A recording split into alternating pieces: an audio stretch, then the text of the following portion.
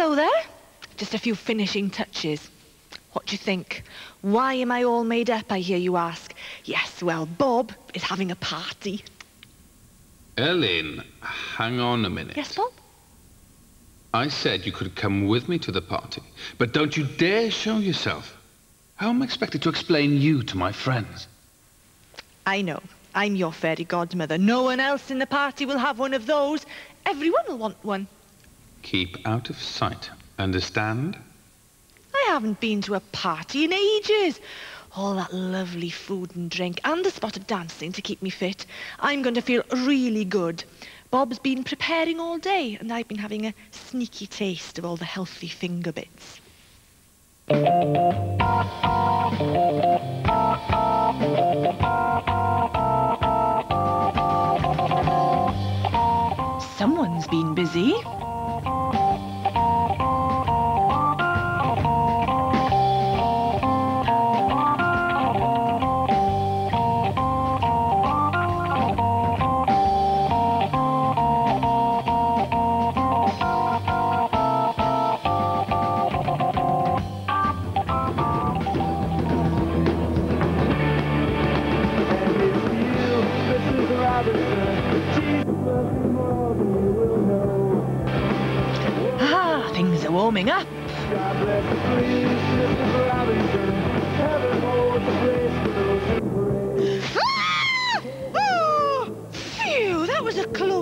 Shave. You could have warned me that was coming. Well, I'm not driving, so I'm having a couple of pints. Nothing wrong in that, is there? And how many pints is that exactly then, Bob, so that I can prepare myself? Only a couple. I knew I'd catch you out one day. You eat very healthy foods, not like Blod. You don't smoke and never have. Blod used to, till she met me. You exercise a little every day, but you do drink alcohol, yes! Yes, but I make sure that I don't drink every day and I don't get drunk. I might have guessed. Perfection. Well, he's not drinking on an empty stomach. What about his friend?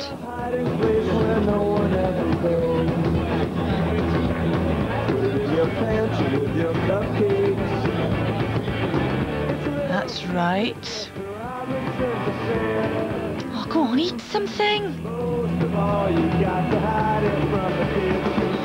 Why is it important to make sure you don't drink too much alcohol anyway?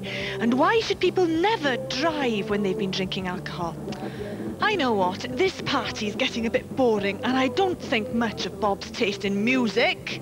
So, I know, let's follow the alcohol around his body to see what happens and find out where it goes. Oh, in we go to the stomach. So far, alcohol is going the same way as every other bit of food and drink. Nothing unusual so far. This is the small intestine, remember? Here, the food is so small that the nutrients, the good things in the food, can pass into the blood vessels through the walls here, and the blood carries the nutrients all around the body. Well, it would seem that it isn't just the nutrients that pass into the blood. Anything small enough can get through the walls of the blood vessels too. So, alcohol gets into the blood. Okay, so what are you waiting for? Bob, go and concentrate on having a party, will you? Ah! Oh, do me a favour, please. Another one? What is it this time? Don't dance for a while, will you? Why ever not? It can get quite rough in here, especially the way you dance. By the way, there's more alcohol coming your way. Really? I thought it might help your research.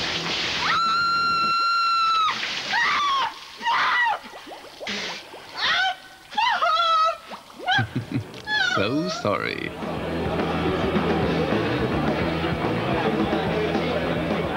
Well, everyone seems to be having a good time.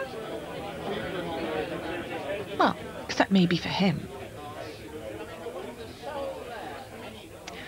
Well, to get into the bloodstream, I need to shrink some more. So here we go. Woo! Yes. Uh, I'll never get used to moving around in here. I'm not surprised. Mm. Now, I happen to know from bitter experience, inside blood, that blood doesn't like strange, big, dirty things like me in it. So, it sends out its army of white blood cells that try very hard to eat me up. That's how the body fights germs. Oh, I hope I reach somewhere else soon. Oh, I'm sure Bob's dancing again.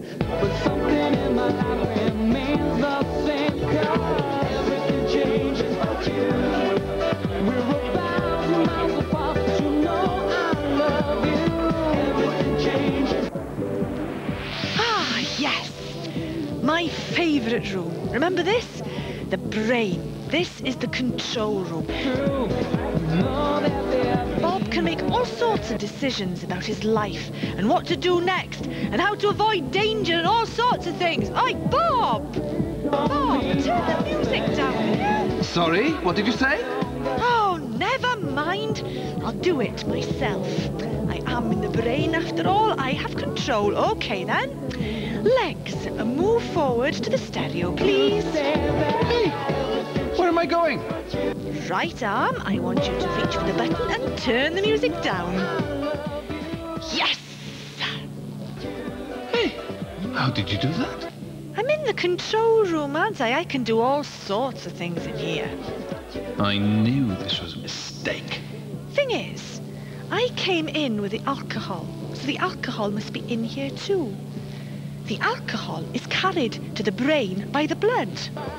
Hmm. Oi! Oi, keep still, will you? You're keeling over. Sorry, I'm just a bit tipsy. Just a bit tipsy? Bob didn't decide for himself to sway then. The alcohol must be taking hold of the controls. What was that? Pardon? What's the matter? See? He can't even control his voice.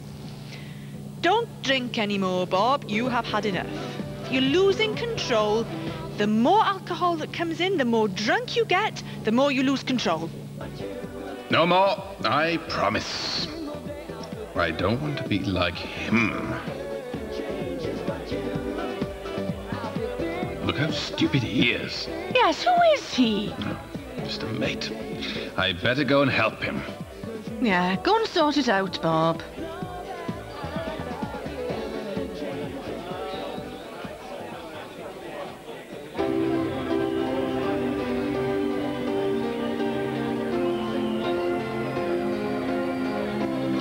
Home you go.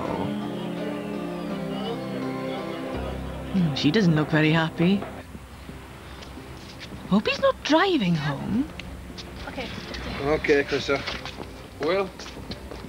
No, they're getting a taxi. Oh dear. Now you can see why anyone who drinks and then drives a car is unbelievably stupid.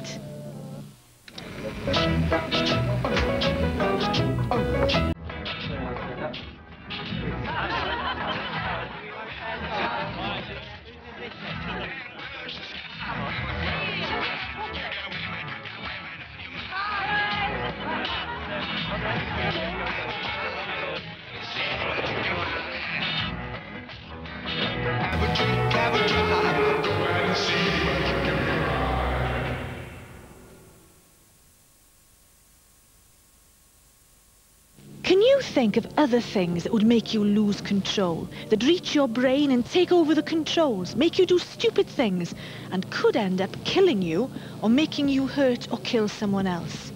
These things can happen to people who take certain kinds of drugs and sniff glue. They all take over the brain.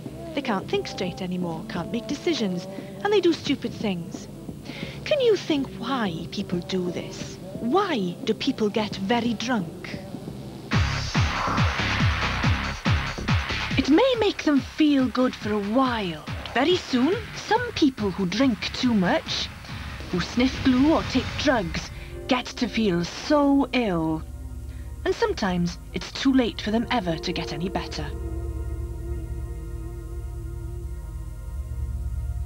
Because once they start, they just can't stop. it takes them over completely.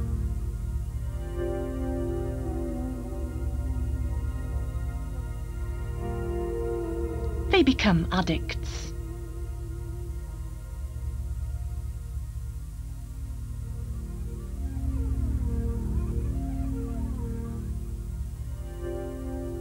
How are you doing then, Bob? Okay. I've sent Joe home in a taxi and Jane is putting him to bed. He's going to feel dreadful in the morning. That's true. The brain certainly gets its own back and gives you a headache. You having a good time then? Mmm. Oh, yes. You should taste the other drinks. Well, customers, it's my greatest pleasure to show you my incredible bar. We have absolutely amazing drinks without a drop of alcohol anywhere near them. To the table, my first one, the Sundance drink. A bit of white grape, some American ginger. Then a wee dram of black currant juice. In it goes. Add a bit of color and some ice. Stand back, shake it all about. Ladies and gentlemen, the Sundance drink. Madam. So what do we want? Drinks! What sort of drinks? Dynamic drinks! Yeah! The party seems to be in full swing now. What do you do to make you feel good? Bob doesn't need any chemicals to take over his brain. Life's too good.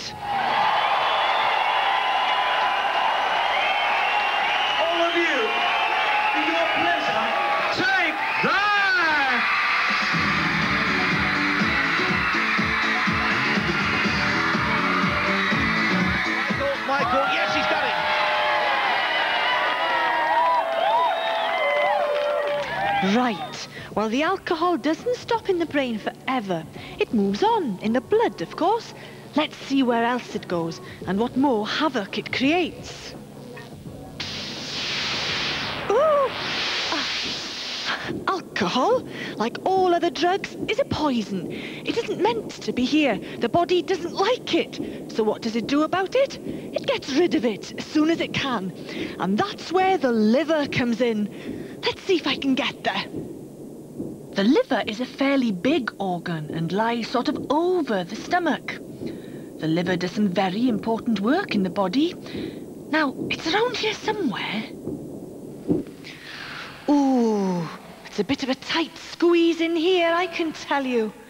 This is the liver, and it's like a big recycling plant. The blood comes into the liver contains some worn out chemicals.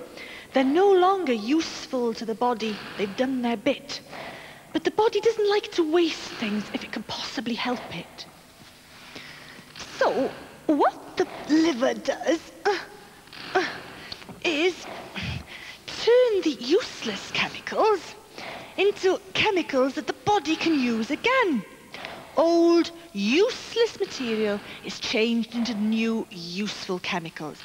And they are either stored in here until they are needed, or they are sent back around the body by the blood. The poisons that come in, like alcohol and drugs, are thrown out in disgust and carry on in the blood to the kidneys, where they are filtered out. Remember? And then, of course, out it goes in the urine. Bob's liver is in very good condition, just like the rest of him. Hmm. Hmm. But can you imagine what happens when the liver has to deal with poisons day in and day out? How would you feel? People who drink too much alcohol and who take drugs can damage their liver very, very badly. Take a look at this. These livers have been damaged by alcohol over a number of years. They can't work properly like that. If your liver becomes badly damaged, then it can't deal with poisons anymore or recycle old chemicals. What happens? They build up in your body and you become very ill. Some people have big problems trying to stop drinking alcohol. They are alcoholics. If people followed Bob's example, Don't drink every day. Don't drink on an empty stomach. And don't get drunk. Hmm. exactly. Then they needn't worry. Their liver will look as perfect as Bob's, and he seems to be having a wonderful time. Oh, I'm really thirsty after all that, though.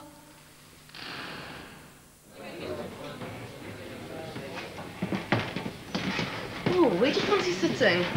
Look, there's a non-smoking area over there. We'll get the menu first, I think. Okay, then what do we all want to drink? I'll have my favourite, What's that? sunrise special. Don't worry, Dad. I'll tell the lady how to make it later. So who's drinking then? Who's driving home? Alison. You are? Oh, great, Dad, because you could try grapefruit fizz. It's brilliant. I'd like a grapefruit fizz, but I'd rather have a beer. Go on then, I'll drive. I quite fancy grapefruit fizz. For sunrise special, you mix pineapple juice and orange juice with some soda water. You pour it onto some ice, add a dash of non-alcoholic grenadine, and decorate with pineapple and cherry.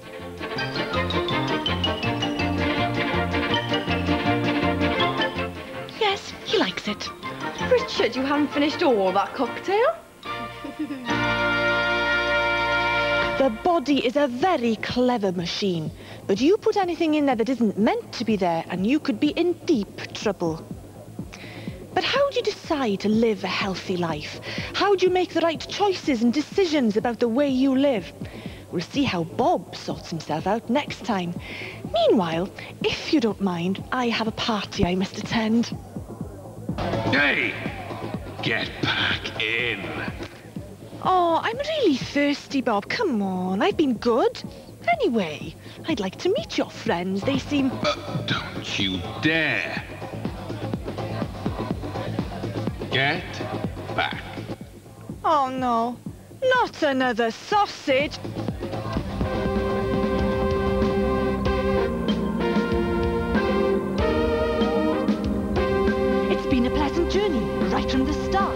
Wander through your various bits and get through every part. Your mouth's so clean, I made it my camp. It gets a little rough, it's often rather damp. Your kidneys were amazing, your stomach's a treat. Your bladder wasn't funny, but your liver was neat. Exercise makes your muscles so strong. Your bones are hard, I could find nothing wrong. I went to see your lungs, they're nice and pink. I visited your brain, I watched you think. Bob, it's been nice to visit you and see